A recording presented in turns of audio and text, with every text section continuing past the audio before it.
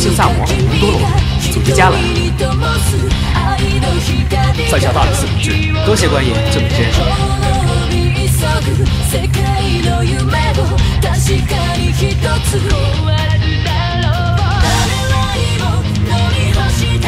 有事我的，走。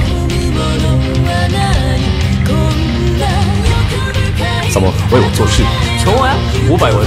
感谢官人的抬爱，小人笑纳了。